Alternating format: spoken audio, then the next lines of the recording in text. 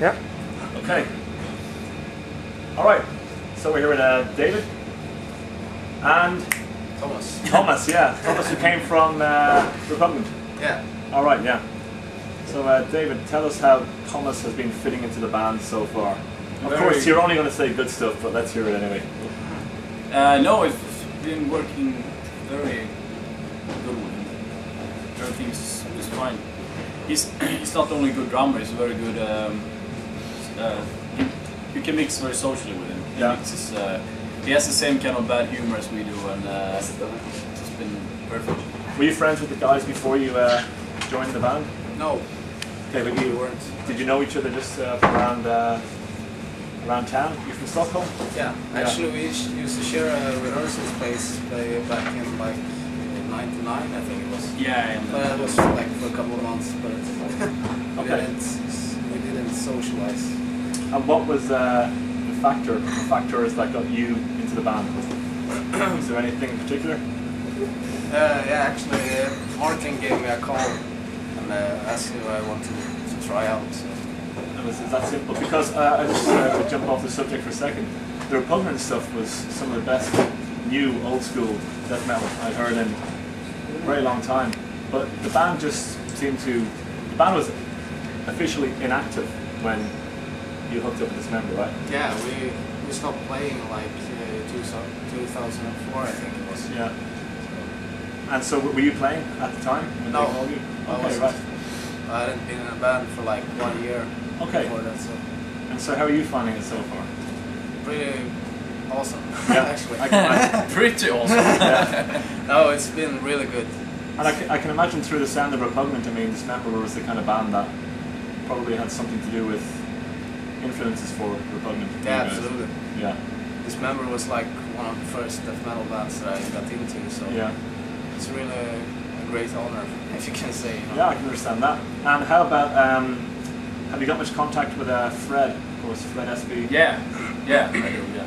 Yeah, because, I mean, Fred, he basically left because of family obligations, right? Oh yes. There's nothing else because you guys No, seem to be he- pretty tight. Oh yes, yeah, absolutely. Uh, it, that was uh, more a question on he was tired of uh, touring. So that, yeah, and he's also So- doing some studio work, like, is he still doing that? Studio work? Uh, yeah, he's doing that a bit. Yeah. Okay, right. And he works as a sound engineer and he's doing uh, works in different clubs in Stockholm and stuff. He's doing that full time now. Uh, I know he has other other jobs as well. Okay, okay. he's a very busy man and he has three kids and a wife, so uh, Yeah. that was his decision basically to just uh, quit and uh, kind of live a, a more a more normal life. a more uh, adult life. Yeah, if you say so. yeah, yeah. But it was a, it was a pretty smooth transition, I guess. yeah. No drama, no nothing, just No drama, but uh, there was a very. I was very, what do you say, upset about the whole thing that he, because he's, he's been there since day one, right? was that? He'd been there since day one. Yeah, exactly. Yeah. Yeah. I, I met met up Fred uh, 20 years ago, and uh, we then then we formed uh, Dismember together, but um, he was always the the band leader. So Yeah, he seemed to take that was a, yeah. organization and like he was booking shows for a Yeah, but Yeah. Mar- Martin was doing that too. But he was doing Okay. a lot of uh, music, a lot of uh, lot of lyrics, and uh, just uh, basically being a band leader. Uh, the band has to have a, a leader, so uh, Yeah. it's. who's the leader now? I don't know if we have a leader. Okay. Martin does all the bookings and stuff, so yeah. yeah, he's, he's booking all the stuff. Okay, and how's the transition been for you? Has it been, I mean, is this like uh, something you had been wanting to do for a long time? I mean, playing a band on a more full-time basis than you had been? Yeah, absolutely. Yeah. It's, it's really awesome to make, to get the chance to play a lot. It's- I can imagine because uh, you guys are going after this to Poland for the Vader Yeah. Earthly show, yeah, Yeah. which I heard is sold out. Is that correct? I don't Yeah, know heard about that. Yeah. Okay. Yeah. Yeah. Okay. There you go. It's a pretty good lineup for that. Yeah, really great And uh, South America. Yeah. Okay, just The end of that. September. Yeah, that's gonna Okay. be really great. We've just been there once, and uh, When was that? uh, I think it was uh, three years ago. Okay. And it, it seems, um, um, I'm sure we touched on this uh, previously, but since uh, Iron Crosses, the band really seems to have gone through um, a rebirth.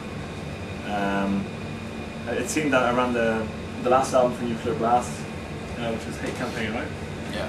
It didn't seem like the label was really behind you, but then uh, you seem to be the last band in Hammerheart that really got a push from the label, and now Mm. Regain seems to be pretty much perfect. Yeah, they are You would agree? absolutely. Yeah, they are really pushing us. Pushing. Yeah, yeah, yeah that, that's correct. That's correct. That's perfect. Sorry, my yeah, yeah. my Swedish uh, English. Yeah. here. I mean, Uh, you could make some kind of a sexual joke, but we'll, we'll, yeah, we'll try not to. So, so things uh, now uh, with the band, as, uh, as far as like you know, second album in with uh, with uh, Regain, and uh, as I said, it seems that things have taken a pretty good step up over the last three albums. Are things more now um, where they should have been? Had Nuclear Blast behind you, all, been behind you all the time? Are you content with how things are right now, in general? yeah, absolutely. Yeah. And Th- there is always one thing with uh, Fred leaving though. Well, he's he was a uh, big part of Dismember, so I will always miss him in the band. yeah, But the thing is, with this uh, this guy in the band, is he's still uh, he's filling the hole quite well, the gap quite well. he's filling the hole. Another possible sexual joke, but we'll skip over that. you would want to start it. Yeah, sorry about that. Um, okay, so um, is there any is there anything else um, uh, lined up as far as uh, live work, like Yeah. European live work, or We have the a South American? tour after the South American tour, Okay, and then the uh European tour after that in December. in December. Right, that's the one you're doing with um, Samael and Flotsam and Jetsam and Yeah. some other kind of thrash bands, yeah. Okay. Yeah, yeah. I'm something. That's um, yeah. Is the Metalise behind that? Uh, No. no. It's not. No. Okay. No, definitely I not. Definitely not. Okay, we'll leave that at that point. Um, and I mean, as far as uh, as far as the future, I mean, can you see Dismember making another three albums, for example? Is that something that you have in mind? That, that's the thing. I, I never I never look uh, that far in the future Right. with with anything. Right. So I don't know. Who, who, who knows? I, I was, you know, if you would have asked me ten years ago, would you still be doing this in ten years? I would have thought no. Right. Or even twenty years ago. Oh, exactly. Yeah. And um, a lot of people would say uh, automatically say yes to a question like this, but is, is, is the drive still there? As much as I mean, you can't compare it to when you were a teenager, but let's say back uh, ten years ago, is it there more now? Perhaps because you've got more label support and more push behind you.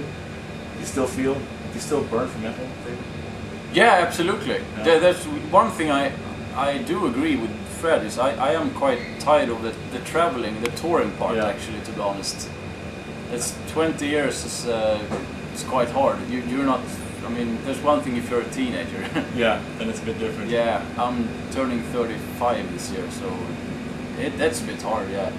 I can understand that, but it's it's something you're still prepared to do. Obviously, if you're if you're still Yeah. here doing it. The, the day I don't feel like doing it, I just quit and Yeah. leave it up to the rest of the guys. It's simple as that.